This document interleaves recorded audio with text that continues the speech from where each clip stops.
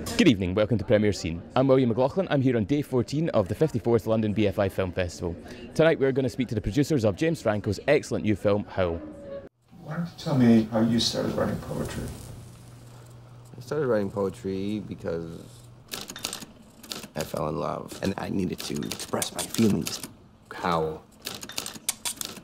I saw the best minds of my generation destroyed by madness, starving, hysterical, naked. Would you say that Howl, the poem by Ginsberg, is obscene?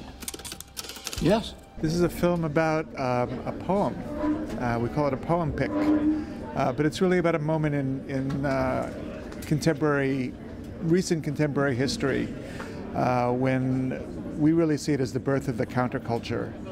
Uh, when this group of poets and writers got together and became what we know of, we know now as the Beat Generation, and created this body of work and this spirit that has infused the culture and really informed um, who we are and what we've become.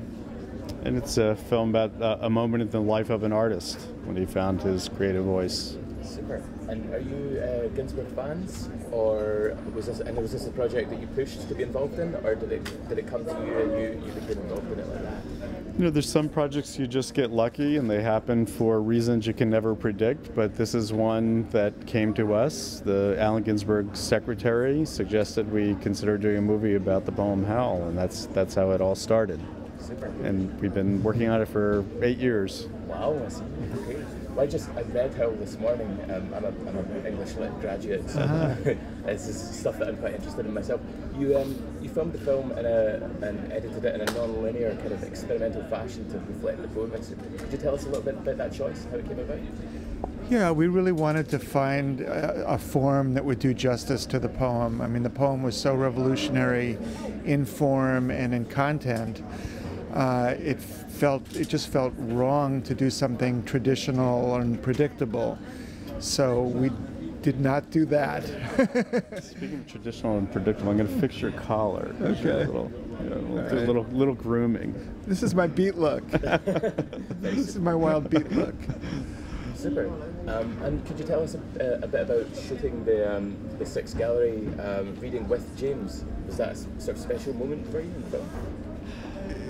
Yeah, it was a special moment. Um, you know, we we were working from descriptions of what that moment was like uh, when Allen first read the poem in this little gallery in, in San Francisco. Uh, and everybody who was there describes it as being this really electric moment. And really, it was the it was the first uh, spoken word poetry performance. It was the beginning of poetry slams and the whole culture that, that came out of that. And people who were there that night knew that something special had happened.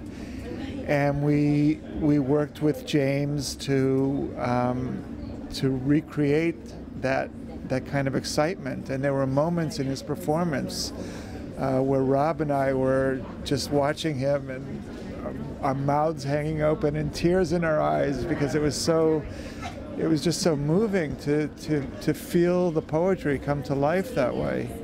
Yeah, and, and some of the, some of the poetry is very abstract, but James was able to make it so immediate and emotional, as we imagine Allen did the first time he read it. I see. And um, just briefly summing could this be considered an adaptation, or is it something more than, than simply just a sort of uh, examination of the poem's contents, and is it more about the history of the generation as well? It certainly could be seen as an adaptation, and it's also about a particular historical moment. So it, it's many things. It's a meditation on the creative process and what it takes to, you know, what it takes personally and emotionally and artistically to create something that has lasting meaning. Um, it's, it's many things. so that's James Franco's new film Howl. I'm William McLaughlan, signing out for Premiere Scene.